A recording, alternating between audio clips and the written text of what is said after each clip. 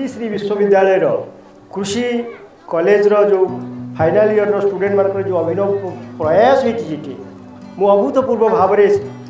आनंदित तो ही एक अच्छा दिन है जहाँ पे बच्चे जो पढ़ रहे हैं वो